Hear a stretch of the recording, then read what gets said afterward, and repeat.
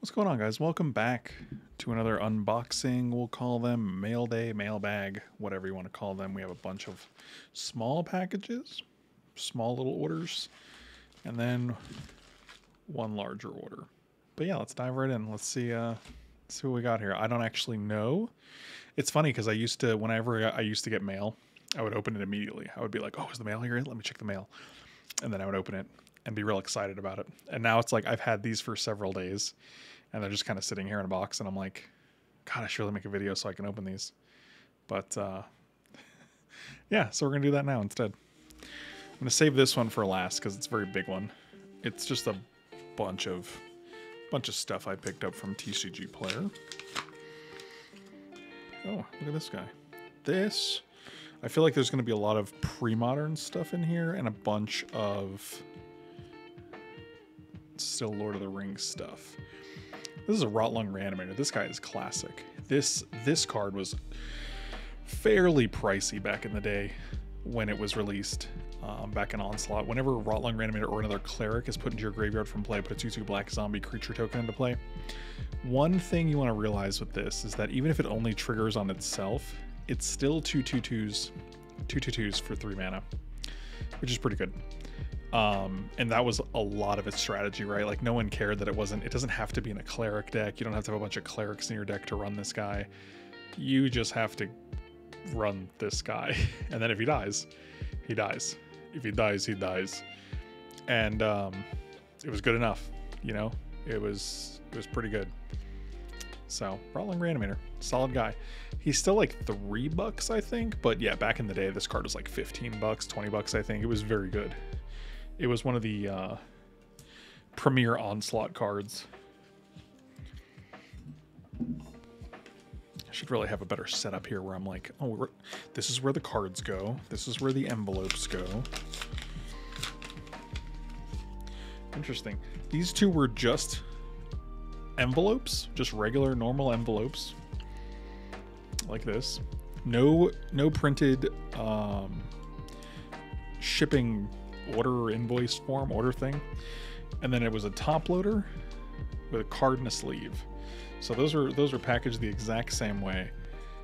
Interestingly enough, um, if I ever get multiples of cards, like oh hey I bought you know four of this this card, you know I have to I have to like deduce who it's from and be like which seller was this, and if like your seller name on TCG Player is different from your actual name on the envelope, then I have to like go to the sellers I bought that card from and see which state they're in and try to deduce it that way. It's a whole to do. Undiscovered Paradise, another pre-modern gem. Uh, add one mana of any color to mana pool at the beginning of your end step. At, at, the, at the beginning of your next untap phase, return Undiscovered Paradise to its owner's hand. So similar to the end step, kind of. I mean, you're not going to get to use it a second time, is really the point. But uh, yeah, Undiscovered Paradise is interesting. It's a card like it goes to show you the value of being able to, to have a land that produces all all colors, and you know, it, it's it's a good card, but boy, boy, they really made you work for it back in the day. So yeah, that's another. It's another card that sees a good amount of play in pre-modern and maybe I'll go over a video, a pre-modern video. I was I have a, I had a a video planned that I was gonna put together because I'd love to talk about it and see what you guys think about pre-modern because it's a really interesting format.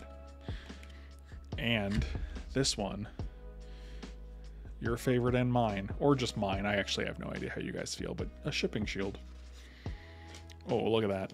Beautiful. I wonder if this is my fourth Aerolingus. Oh, good times. Yeah, that's that's a gem. That's a good one. I like that they've all been extended art. Uh, sometimes I order the extended arts and then they send me regular arts, and it's sad for everybody because then I have to send it back if it's worth something. If it's not worth something, they're usually like, "Oh, I don't have the regular one. Do you want a partial refund?" And I'm like, "Not really, because I'm not going to use a regular one. Can I just send it back to you?" And they're like, "Don't worry about it. You can just keep it." And then I end up with a card, but then I'm like, I'm not going to use it, so like I just end up selling it in like a bulk sale that I that I make. I don't know. You get it. Oh, see, this is what I mean. So I'm gonna leave that together so I know. I'm trying to keep these in order as well because I have a list. Whenever I order a bunch of cards, I make a list of the cards. So I know when they're shipped, I know when I get them, and then I take them off the list. So if I'm ever missing something and it's like been 15 days, 17 days, whatever, I'll send a message and I'll be like, hey, just want to let you know I haven't gotten this yet. If you have any info, let me know. But this one is another Undiscovered Paradise. Number two. Most of these are likely MP. Usually when you use the TCG Player Cart Optimizer feature, um, it, it defaults to MP or or better. So, and this looks MP. So, and then this guy.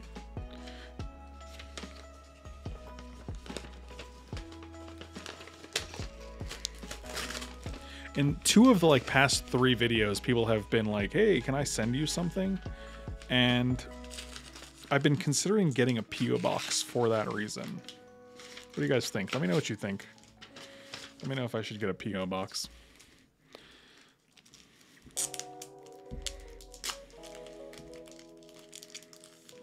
Okay, this is this was this was taped very well. Oh boy. Almost too well. Like if it's if it I don't like it when they're taped so well that like I'm risking damaging the cards to get them open. Like if I have to figure out which tape to undo first just so I can just so I can not damage the cards. That might be a little too well, but let's see what we got here. We have a worthy cause. Sacrifice a creature, gain life equal to sacrifice creature's toughness, and buyback of two. This is a card that's in a combo deck. I actually, off the top of my head, I couldn't even tell you which one. I don't know. I picked it up because it was in. Um, oh, I think it's I think it's with Tireless Tracker. I think it's like a Tireless Tracker deck where um, you buff the or Daru Spiritualist. Let me see. I think I have a Daru Spiritualist right here.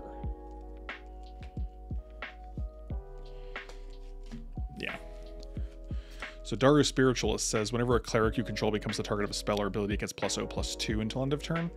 So I think basically you just buff this to infinity with with the combo in the deck, and then you sacrifice it to gain infinite life. This is just another another infinite piece. Um, you'll be like, oh, I'll make Daru Spiritualist a 47, uh, 0, 1. Okay. We messed that one up. You get it. You get the point. A 1 slash 2 million 76. And then I have to kill you from that. Then we have About Face. Switch target creature's power and toughness in the end of turn. Effects that alter power, alter toughness, and vice versa. As you can imagine, also a combo with Daru Spiritualist. So yeah, I saw this deck, uh, and it's similar with Tireless Tracker, where Tireless Tracker is like, whenever you discard a card, it gets plus O plus three or something, but that's not sustainable. This is sustainable because you just have an infinite combo where um, there's the creatures like Shaman en-Kor, where you can just redirect something to this and just target it 4,000 million times, right? So you do that, and then you switch its power and toughness, and then you kill them, or you gain a million life. And so there's these there's these cards that just combo with it. Alexi's Cloak. So it's a two mana enchantment from uh, Prophecy. You may play Alexi's Cloak anytime you could play an instant. We call that Flash nowadays. Enchanted creature can't be the target of spells or abilities. We call that Shroud.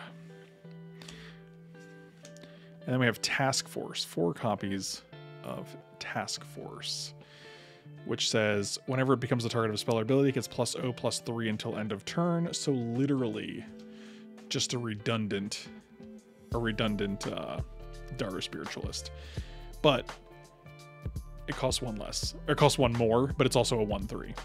It's a one three for three instead of a one one for two but they both get plus O plus three whenever they become a target of spell ability. So obviously you can see where I was going with these. very combo centric, very pre-modern. So, and this is a this is a big boy. This is like a this is like a sandwich. This is the this is the Big Mac of of orders here. So we'll see what's in this guy. Also, whenever I cut bubble mailers, I get this weird with this weird fear that I'm like gonna cut the cards. So I'm always like, okay, let me make sure all the cards are like very far from from the top. Okay.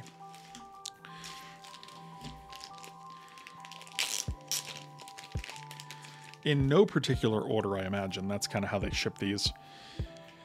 Ayara, Widow of the Realm.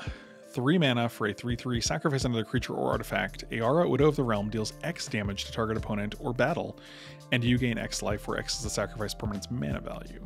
Sacrifice another creature or artifact.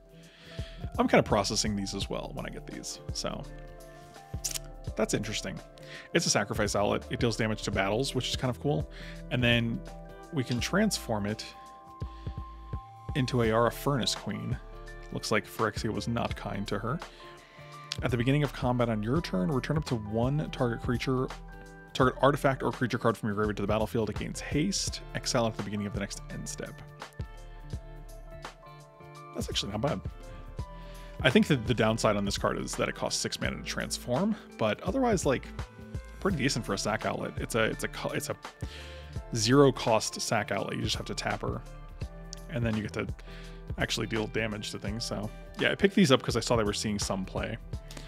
Everything I pick up is because I either see it in a deck, or I, I or I just think it's cool and I want it for my cube. Patch up three mana, return up to three target creature cards with total mana value three or less from your graveyard to the battlefield. So this is actually seems pretty good. I mean, in a deck like I could see this seeing a lot of play in like Proclamation of Rebirth, where you're bringing back like Martyr of Sands, uh, Soul Warden, Essence Warden, not Essence Warden, Soul Attendant. Is that what it's called? I don't know. Soul's Attendant? Maybe that's it? I don't know. You guys know what I'm talking about, though. Any of the creatures that, that gain you a life whenever another creature comes into play, like this guy seems really good for that. Plus, or like through through Wild Nacatls. Um, yeah, I saw this card in a deck and I was like, that seems cool. I, I understand why it's seen play. Cabal Archon, a 2 2 for 3. It's a cleric, which was relevant in Onslaught and relevant for the pre modern deck this might go in. Sacrifice a cleric, target player loses 2 life, and you gain 2 life. That's all good and great, but you mostly just want it for the cleric triggers and for perhaps another card that we might see in here. About face, that's probably the fourth copy. This is just the Banishing Light from the Lord of the Rings Commander set. I just thought they were cool, so I picked up four of them. I really know no, nothing really super deep about that. They're just they're just cool Banishing Lights. Same with Boon of the Wishgiver. I'm probably going to replace Boon of the Wishgiver in my regular play stuff with this uh, Lord of the Rings copy. So four copies of Boon of the Wishgiver. You guys can get a better look at that guy. It's just cool. Like this is just cool art. Like I think it's Sauron and all the rings, if I'm not mistaken. Same thing with Crypt Incursion. Four copies of Crypt Incursion. Another card that sees a good deal of play in Modern. Exile all creature cards from target player's graveyard. You gain three life for each creature card exiled this way. It's it's very strong in like the mill decks, I believe. I'm not sure if it sees play outside of that. A lot of these are just cards I wanted to pick up from Lord of the Rings because I really thought a lot of the reprints were cool, like Deep Analysis. Target player draws two, then pay three life and draw two again. And then, as you guys know, as I've gone over, I love I love good tokens. So this elf warrior, I picked up one, two, three, four, five, six, seven, eight, eight elf warrior tokens. So not bad. This elvish archdruid is like 20 cents. So I was like, yeah, sure, I'll pick up some Lord of the Rings version elvish archdruids. That's just cool. Because especially because elvish archdruid doesn't actually have its own interesting frame. It doesn't have like an extended art, it doesn't have a borderless or a Secret Lair. So this is like the best alternate art elvish druid you're gonna get, or elvish archdruid from Lord of the Rings. Elvish Visionary, same thing. Just a classic. Just a classic two mana, one one elf that draws you a card. Ooh, interesting. And sometimes you get a situation like this where like they're both obviously legit, but they are very different color tones. The one on the bottom is almost like a teal, and the one on the top is like a hunter green, like a forest green. That's interesting. I'll flip them so you can see that as well. Yeah, like look at the color difference in that. And again, that just comes down to different like printings. Fiend Hunter, same thing. I was tempted to put this in my Innistrad cube because I think this is a cool upgrade. That being said, if there's an Innistrad original card, I value that first. Like it's an Innistrad based cube, so the, basis is an Innistrad. So if there's ever a card that was originally from Innistrad, or if there's an original Innistrad printing, that gets priority. So I can't actually put Fiend Slayer in there in good conscience, but it's still cool to have the four of them. Forbidden Alchemy, another classic. Look at the top four cards of your library, put one in the graveyard. Put one in your hand and the rest in the graveyard, and then you flash it back, so. Goblin Crater Maker. I believe I picked up five of these because I will actually replace the Goblin Crater Maker in my cube with the Lord of the Rings version. I have no reservations about that. One, two, three, four, five, and one for the cube. Goblin Dark Dwellers, same thing. I don't know if I have a Dark Dwellers in my cube, but it's definitely in the maybe board. And I can just put one in, in the of the Lord of the Rings version of the maybe board. Again, this card is like 10 cents. So a lot of these are just fun to pick up. Like, I think it's cool to have alternate art versions of Goblin Dark Dwellers that are Lord of the Rings based, and it's not even a dollar for the for the playset. Three, four, five.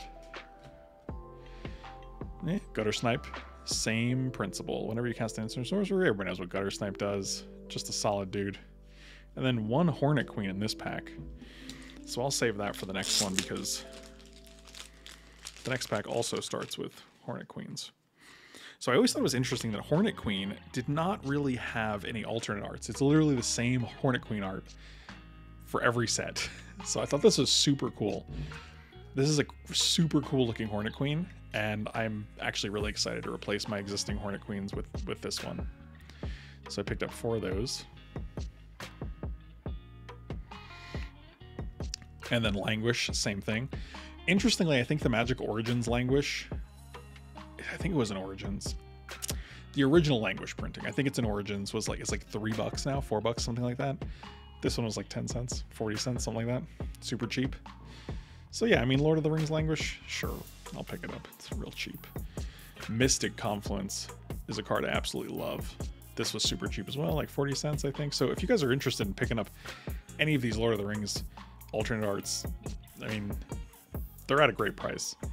Mystic Confluence is one of my favorite cards ever. Here's one opt. I picked up a playset. I'm not sure where the, the other three are, but I'm sure we'll find them. Palace Jailer. Again, another playset of Palace Jailers. This is a card that sees play in Legacy. Sees play in a lot of cubes, so never, never don't need a Palace Jailer. Paradise Druid. This is actually a super cool Paradise Druid art, and I like it a lot. And I'm probably going to replace my regular Paradise Druids with this Paradise Druid because I think it's super cool. And it's like, I think it's the first alternate art Paradise Druid, so really kind of a good fit. I don't mind updating with um, Paradise Druid stuff. This card's interesting. It's a 9-7 for 7, which is humongous. It has trample.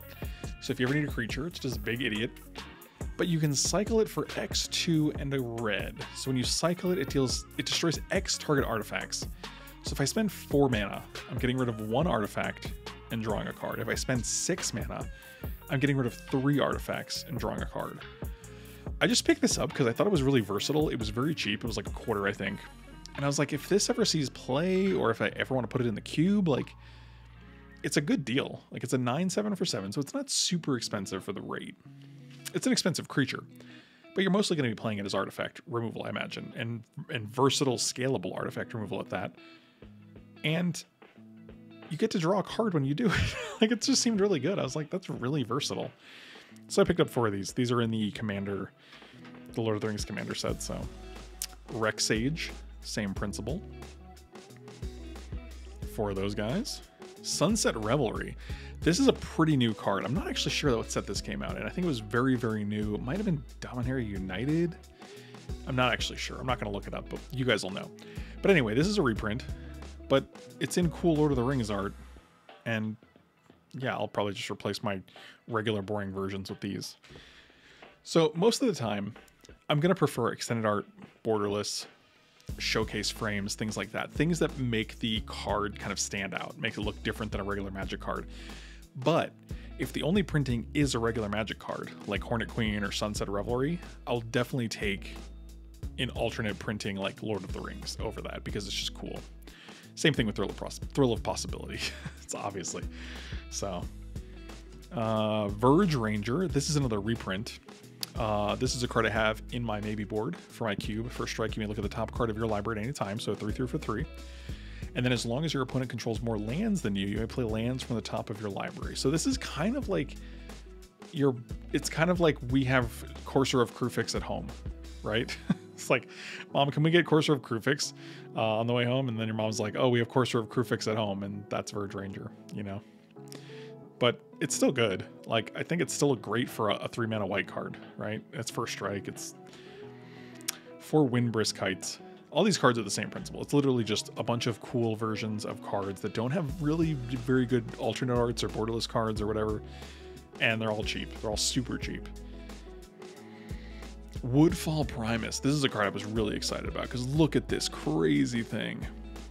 I love Woodfall Primus in the cube, and this this tree folk looks phenomenal, and it's just it's going to be a super cool replacement for my vintage cube. So this is for pre-modern. Um, I wanted four copies of Absorb, but Absorb from uh, I believe it's I think I think it's Invasion. I want to say Invasion. The original Absorb from Invasion is actually like eight bucks, and the Absorb from Dominaria Remastered in the retro frame is like forty cents. So I just got the forty cent version. it's like I mean it'll do for now, and if I ever want to pick up the Absorbs uh, that are more expensive. I can do that later. But here's two of the Moria Marauders that we, we said we were picking up. One, one more Sulfuric Vortex. This is for pre-modern as well. It's very, very abusive in the in the red decks, obviously. Dark Supplicant. This is what those Cabal Archons were for. Sacrifice three clerics, search your graveyard, hand, and or library for a card named Scion of Darkness, and put it into play. And then if you search, shuffle it. One one for one. This is a four of in any in, in, the, in the cleric deck, and um, just kind of cool.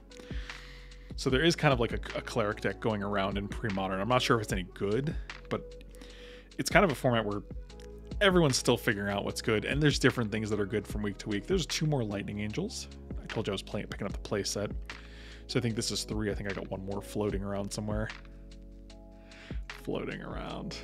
That's good. Here's a Gainsay counter target blue spell for two mana. A classic. Mystical Dispute before Mystical Dispute was a thing. One OG Squee Goblin Nabob. I have the Secret Lair, but for for cards like Squee, um, but not even for for cards like Squee, but for cards that have retro frames, I'm erring on the side of the retro frames for all pre-modern. So I'd like to have decks that are full retro frame. I'm not there yet, but it's a cool it's a cool little goal to to to kind of work towards. See, then we have more of the repeating on the bottom. I'm just to kind of see. We have the three three more dark supplicants. So that brings us to the, to the play set. I'm trying to get another, another Cabal Archon. Trying to get through the cards that we've already seen. Lightning Angel number four. So we did find it. Now we have all four. Another Gainsay. And then I think everything else is unique. Well, we have two more worthy cause here, bringing us up to the playset. So that deck's probably close to complete. Then we have the Scion of Darkness himself. 6-6 for 8 mana. So you really don't want to be casting this guy. Trample. Whenever it deals combat damage to a player, you may put target creature card from that player's graveyard into play under your control. And you can also cycle it, which is very cool because if you remember, Dark Supplicant's ability does search your graveyard for Scion of Darkness. So you never have to worry about like, oh, it's not in my library anymore or it's on my hand. So really cool, really sweet strategy. Kind of fun. Priest of Gix. Got the playset of this guy. This is interesting. I'll let's see the casting cost three mana for a 2 1, but when he enters the battlefield, you add three black. So basically free. This is from a time and a, uh, a set where there were a good amount of free cards where you just play the card and it's it untaps your mana or it adds that much mana to your mana pool and it's just basically a free card. So kind of cool. Two more Shaman en-Kor. We saw one of these the other day. Redirect one damage from Shaman to any creature you control. So that's a zero ability. And you can just target things like Daru Spiritualist as much as you want. Infinite. Infinite times. And that's the trick. Two interdicts. This says counter target artifact, creature, enchantment, or land ability requiring activation cost. Abilities of that permanent cannot be played again this turn, and then you draw a card for two mana. One and a blue. Look at that. It's an interrupt. Man, what a time. What a time. One more shaman. Sorry, I didn't get those all lumped together, so that makes the playset. Initiates of the Ebon Hand. Look at this Heather Hudson art. It's fantastic. One one mana cleric for one. It's a one one. You can tap a colorless mana to add a black mana. So it's a filter card. Basically, you're filtering colorless mana into black mana. Play this ability as interrupt. If more than three mana is spent this way, then this guy's got to die. He's he's just worked too hard. But yeah, this is one of those Fallen Empires cards that has like four different printings. There's like four different arts, and this was obviously the coolest. So I picked this one. This is why parents thought kids were devil worshipping cults back when they played Magic the Gathering in the early mid 90s. And this is one Bane of Progress because I saw one Bane of Progress in a lot of legacy lists. So I picked one up. Six mana for a 2 2. It destroys all artifacts and enchantments, and then you put a counter on it for each permanent destroyed this way. Pretty, pretty wild. Pretty wild if you ask me. But yeah, that's uh that's that's this not mostly this week's. This is today's haul. So thank you guys for watching. I hope you guys are still enjoying the series. Definitely give this a like, a thumbs up, a share, a subscribe to the channel if you guys are enjoying it. I'm trying to grow it a little bit. Um, it's been a little slow to start, but I do feel like um, I've gotten positive feedback, so hopefully that'll that'll continue. But yeah, definitely, uh, you know, support the content and uh, thanks for watching, guys. Really appreciate you.